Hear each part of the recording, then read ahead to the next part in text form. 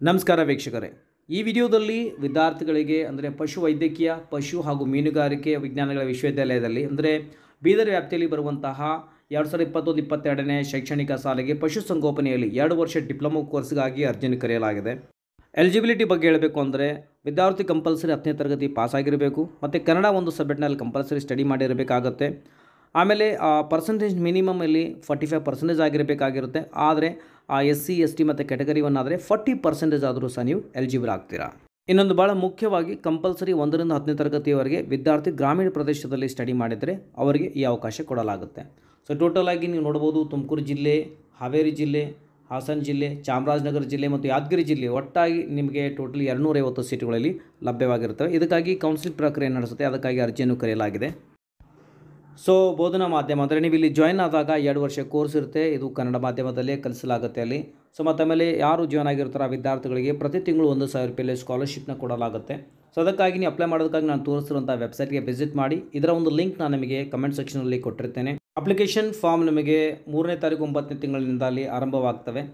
Application ಫಾರ್ಮ್ನ ತೆಗೆದುಕೊಳ್ಳಿ. ಆಮೇಲೆ ಅರ್ಜಿಯೊಂದಿಗೆ, ಅಂದರೆ D D compulsory original D ಡಿಯಲ್ಲಿ attach ಮಾಡಬೇಕಾಗತ್ತೆ. ಒಂದು ವೇಳೆ ಒರಿಜಿನಲ್ ಡಿ ಡಿ ನೀವು ಆ ಅಪ್ಲಿಕೇಶನ್ನೊಂದಿಗೆ ಅಟ್ಯಾಚ್ ಮಾಡದೇ ಇದ್ದರೆ ಅದನ್ನು ತಿರಸ್ಕರಿಸಲಾಗುವುದು.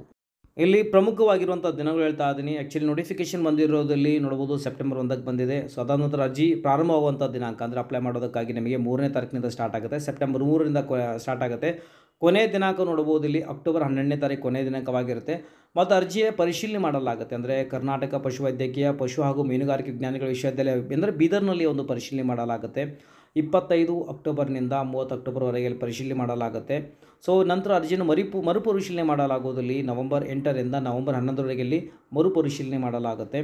ಸೊ, ಈ ಅರ್ಜಿಗಳ ಒಂದು ಪಟ್ಟಿ ಪ್ರಕಟಣೆ, ಅಂದರೆ ಒಂದು ಪರಿಶೀಲನೆ ಆದ ನಂತರ ನೀವು ಎಲ್ಲೆಲ್ಲಿ ಸೆಲೆಕ್ಟ್ ಆಗಿದ್ರು ಇಲ್ಲೋ ಅನ್ನೋದನ್ನ ಸಹ ಹದಿನೈದು ನವಂಬರಂದು ವೆಬ್ಸೈಟ್ನಲ್ಲಿ ಪ್ರಕಟಿಸಲಾಗುವುದು. ಬಂದ ತಕ್ಷಣ ನಾನು ನಿಮಗೆ ತಿಳಿಸಿರ್ತೇನೆ ಆಮೇಲೆ ನಿಮಗೆ ಮೌಖಿಕ ಸಂದರ್ಶನವಿರುತ್ತೆ ಕೌನ್ಸಿಲಿಂಗ್ ಇರುತ್ತೆ. ಸೊ ಅದಕ್ಕಾಗಿ ನಿಮಗೆ ಅಲ್ಲಿ ಕರೆಯಲಾಗುತ್ತೆ ಇಪ್ಪತ್ತೈದನೇ ತಾರೀಕು ಹನ್ನೊಂದು, ಎರಡು ಸಾವಿರದ ಇಪ್ಪತ್ತೊಂದರಲ್ಲಿ ಒಂದು ಮೌಖಿಕ ಪರೀಕ್ಷೆ ಸಂದರ್ಶನವಿರುತ್ತೆ.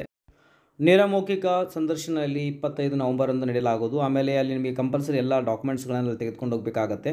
ಸೆಲೆಕ್ಷನ್ ಆದ ನಂತರ ನಿಮಗೆ ಮತ್ತೆ ಅಂದರೆ ಮೂರನೇ ತಾರೀಕು ಹನ್ನೆರಡನೇ ತಿಂಗಳು ಎರಡು ಸಾವಿರದ ಇಪ್ಪತ್ತೊಂದರಂದು ನಿಮಗೆ ಯಾವ ಒಂದು ಪಾಲಿಟೆಕ್ನಿಕ್ ಕಾಲೇಜ್ನಲ್ಲಿ ಅಂದರೆ ಪಶು ಪಾಲಿಟೆಕ್ನಿಕ್ ಕಾಲೇಜ್ನಲ್ಲಿ ನಿಮಗೆ ಆಯ್ಕೆ ಆಗ್ತಿರೋ, ಆ ಕಾಲೇಜಿಗೆ ಹೋಗಿ ನಿಮ್ಮೆಲ್ಲ ದಾಖಲಾತಿಗಳನ್ನೆಲ್ಲ ಒರಿಜಿನಲ್ ಡಾಕ್ಯುಮೆಂಟ್ಸ್ಗಳನ್ನು ಅಲ್ಲಿ ನೀಡಿ ತರಗತಿಗಳಿಗೆ ಜಾಯ್ನ್ ಆಗ್ಬೋದು.